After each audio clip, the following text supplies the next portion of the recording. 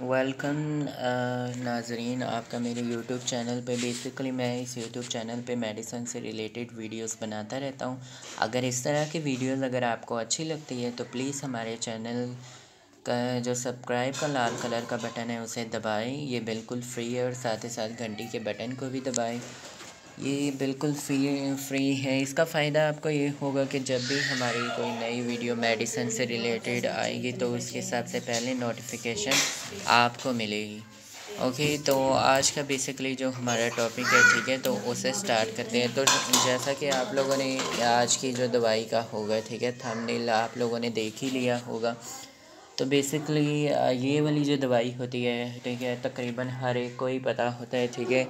Gravinate syrup इसे कहते हैं और किन पर्पज़ के लिए यूज़ होता है, ठीक है? ये भी आपको आज हम इस वीडियो में बताएँगे तो काफ़ी ज़्यादा ही ठीक है? इंटरेस्टिंग है, ठीक है? ये वाला जो सिरप तो बेसिकली सिरप का जो फ़ायदा क्या है, ठीक है? उसकी तरफ़ हम आते हैं। तो बेसिकली ग्रेविनेट सिरप होता है, ठीक है? बच्चों को, बड़ों को जब भी उल्टियाँ होती है तो मोस्टली जितने भी डॉक्टर है, ठीक है, यही वाली चीज़ रिकमेंड करते हैं। वो कहते हैं, अगर आपको उल्टी हो रही है, ठीक है, या तो मोटीलियम खा ले या Gravinate syrup syrup basically tablet जो होती है, बड़ों के लिए होती है, ठीक है, बड़े उसे यूज़ कर सकते हैं, पर जो सिरप होता है, ठीक है वो बेसिकली छोटे यूज़ कर सकें या बड़े भी यूज़ कर सकते हैं, कोई मसला नहीं है, ठीक है? बस हर एक की अपनी अपनी चॉइस है। किसी को सिरप फॉर्म में दवाई पसंद होती है, किसी को टैबलेट में। तो खैर जी डिपेंड ऑन पेशेंट चॉइस तो डॉक्टर फिर उल्टियों के लिए, ठीक है? उन्हें रिकमेंड करें। अगर पेट में थोड़ी सी ख़राबी हो, ठीक है? दर्द हो रहा हो तो और बाकी पेट की अंतरियों में थोड़ा सा मसला हो, ठीक है तो वो दर्द हो रही हो तो उसके लिए भी ये ग्रेविनेट रिकमेंड करते हैं।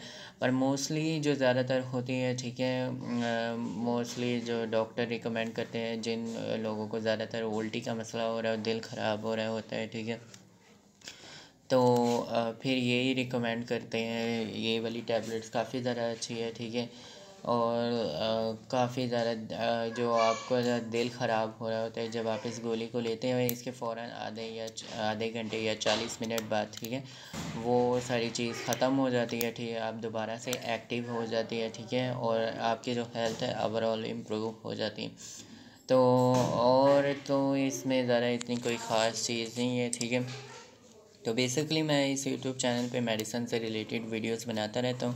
मैं ख़ुद भी वैसे फार्मेसी में होता हूँ। मैंने सोचा कि मैं इस चैनल पे बनाऊँ, ठीक है वीडियोस ताकि हर कोई, ठीक है, मेरे चैनल पे दवाइयों से, ठीक है मालूम उन्हें मिलती रही। तो मैंने सोचा मैं भी यूट्यूब चैनल बनाऊँ ताकि जो आम आवाम है ठीक है, उन्हें भी मेडिसन के बारे में पता हो ताकि वो जब भी किसी फार्मेसी में जाए, उन्हें कोई भी मेडिसन अगर इस तरह की जो जो मेरे चैनल पे उन्होंने देखी है, वो अगर नज़र आए तो उन्हें इनके बारे में मालूम का पता हो और ये भी पता हो कि किस लिए ये यूज़ की जाती है और दवाइयों के बारे में इलम हो।